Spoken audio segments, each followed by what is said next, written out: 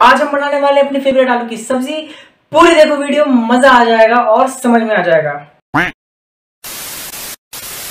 Hello भाई बंधु सखा और सखी तो कैसे हैं आपके हाल चाल और बाल? तो यार आपका बहुत बहुत बहुत स्वागत है अपने इस चैनल में और जहाँ पे हम सीखते हैं, समझते हैं ऑब्ज़र्व करते हैं एक्सप्लोर करते हैं। तो यार डोंट वरी आज कोई सब्ज़ी उब्जी नहीं बनने वाली। हम तो बस आलू का प्रचार कर रहे थे ताकि वीडियो की लेंथ बढ़ जाए। इस वीडियो में यार मज़ा आ जाएगा आपको और आप कुछ एक नई चीज़ सीख के जाओगे इस वीडियो से और शायद आपको ये स्कूल एक्सपेरिमेंट्स में भी काम आ जाए स्कूल प्रोजेक्ट्स में काम आ जाए। घर पे दिखाओ, घर में बनाओ, आराम से बना सकते हो, कोई भी प्रॉब्लम नहीं आएगी। ठीक है? तो यार, आज की इस वीडियो में हम बनाने वाले हैं आलू कचालू की बैटरी, यानी पोटेटोज बैटरी बहुत ही सिंपल तरीका है, बहुत ही आसान तरीके से बनेगा और हर तरह से आप इसे समझ पाओगे, समझा पाओगे। तो यार वीडियो में आगे बढ़ने से पहले कुछ फंडामेंटल चीज़ें समझ लो जो इस वीडियो में आपको काम आने वाली है और आगे एक्सपेरिमेंट करते वक्त भी काम आएँगी। तो यार, सबसे पहले समझो की बैटरी बनती कैसे है। बैटरी बनने के लिए तीन चीज़ें बहुत ही ज़रूरी है। पहले दो तो इलेक्ट्रोड ही हो गए, यानी कैथोड और एनोड और तीसरा जो कंपोनेंट है वो हमारा हो जाता है इलेक्ट्रोलाइट इन तीनों से बनती है बैटरी इन तीनों का काम होने के बाद एक बैटरी रेडी हो जाती है, बहुत ही सिंपल तरीके से रेडी हो जाएगी। और आप देखते हो कि ड्राई सेल है, उसके अंदर भी इलेक्ट्रोलाइट है कैथोड है एनोड है। ठीक है? तो यार इस वीडियो में हम लेंगे कॉपर और जिंक को एज इलेक्ट्रोड क्योंकि ये दोनों चीज़ें जो है ना मेटल्स आराम से हमारे घर पे, हमारे एनवायरमेंट में मिल जाता है। अगर आपको नहीं पता कि जिंक कहाँ से मिलेगा तो यार ड्राई सेल होता है ना, जो आप रिमोट में सेल डालते हो ना उसमें होता है जिंक।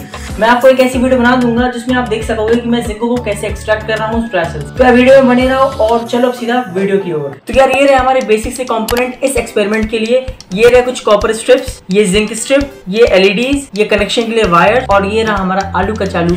यानी पोटैटो सिंपल सा देख लीजिए, कुछ नहीं है एक्स्ट्रा ऐसा जो आपको ना मिल पाए। कॉपर वायर इसलिए लिया क्योंकि ये कनेक्शन अच्छे से कर देगा और अच्छा कंडक्टर भी है कॉपर और ये कॉपर के स्ट्रिप जो है, ये पॉजिटिवली चार्ज इलेक्ट्रोड बनेगा। जिंक के जो बनेंगे, ये नेगेटिवली चार्ज इलेक्ट्रोड बनेंगे और एलईडी हमारे एक्सपेरिमेंट को परफॉर्म करने का रिज़ल्ट बताएगा कि कितना अच्छा बैटरी बनाएँगे। तो क्या चलो शुरू करते हैं। कॉपर वायर के दोनों साइड एक साइड कॉपर स्ट्रिप लगाएँगे और एक साइड जिंक स्ट्रिप लगाएँगे, ठीक है?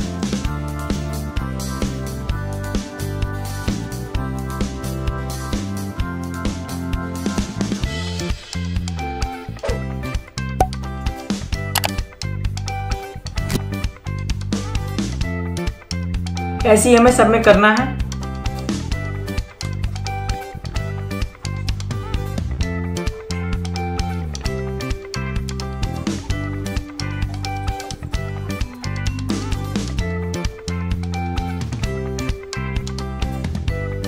तो यह सारे कनेक्शंस हो चुके हैं और आप देख सकते हैं कि मैंने तीन वायर में एक साइड कॉपर और एक साइड जिंक लगाए हैं और दो वायर में मैंने जिंक और कॉपर सिंगल सिंगल टर्मिनल्स में लगाए हैं। दूसरी साइड मैंने ऐसे छोड़ दिया है। कनेक्शन हो चुका है। अब हमें सीधा पोटैटो में, यानी आलू के चालू में लगा देने हैं इनको।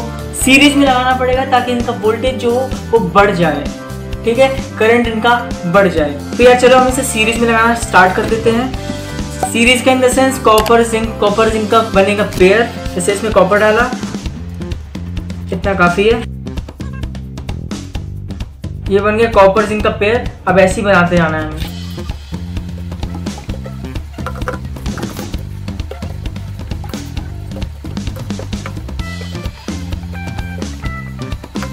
तो यार देख सकते हैं हमने कॉपर जिंक कॉपर जिंक का पेयर बना लिया है।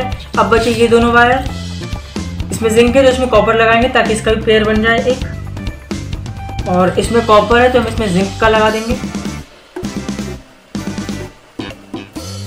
ये बन गया हमारा पेयर और बन गई है बैटरी तो ये सिंपल सा सर्किट है, देख सकते हैं आप। तो यार चलो टेस्ट करते हैं कि हमारी बैटरी काम कर रही है अच्छे से कि नहीं कर रही है।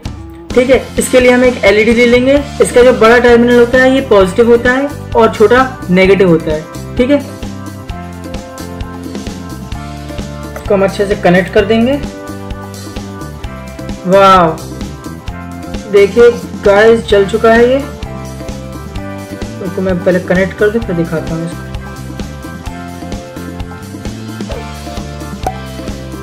तो गाय आप देख सकते हैं एलईडी जल रही है। मैंने कोई भी बैटरी एक्स्ट्रा नहीं लगाई है, आप देख सकते हैं यहाँ पे। इसको जैसे ही हम यहाँ से एक भी टर्मिनल अगर निकाल देते हैं तो ये बंद हो जाएगी। ये देखिए सर्किट टूट गया, बंद हो गई। अब जैसे ही हम इसे इंसर्ट कर देंगे, जलने लगेगी। हाँ भले इसका वोल्टेज और इलेक्ट्रिसिटी ज़्यादा ना हो, लेकिन तब भी देखो, जल रही है। और ये पोटैटो बैटरी है यार। आप जितना चाहे आलू लगा सकते हो और बहुत सारी इसकी एनर्जी ले सकते हो। ये जब तक जलेगा, तब तक इसके आलू खराब नहीं हो जाते, यानी सड़ नहीं जाते, तब तक जलता रहेगा।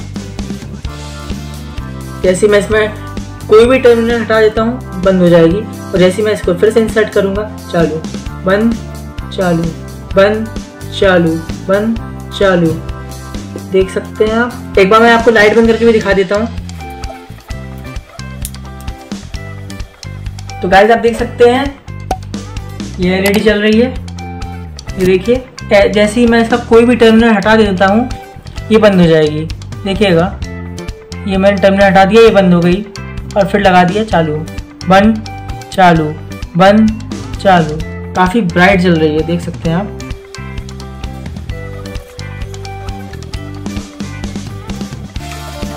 तो यार, ये बिल्कुल भी फेक नहीं है। आप देख सकते हैं, मैंने कोई भी बैटरी वैटरी कुछ यूज़ नहीं किया है। मैंने सिर्फ़ आलू यूज़ किए हैं। आप देख सकते हो, लो भैया।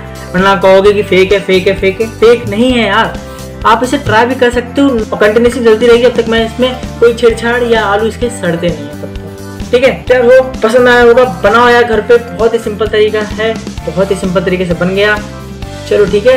होप आपको ये वीडियो पसंद आई होगी और आप जाके सीधा बनाने वाले होगे लेमन बैटरी यानी आलू का चालू बैटरी यार, बहुत ही सिंपल तरीके से बन जाएगा, कोई प्रॉब्लम नहीं आएगी। अगर प्रॉब्लम आती है तो यार कमेंट करो, बताओ। कमेंट में बताओ क्या प्रॉब्लम आ रही है। वैसे तो 100% कोई प्रॉब्लम नहीं आएगी, क्योंकि यार बहुत सिंपल तरीका है बनाने का। और अगर वीडियो पसंद आई है तो ये लाइक करो शेयर करो कमेंट करो चैनल को सब्सक्राइब करके बेल आइकन दबाओ। ऐसी वीडियो आती रहेंगी, मज़ा दिलाती रहेंगी। मिलते हैं नेक्स्ट वीडियो में। चलो ठीक है, टाटा बाय बाय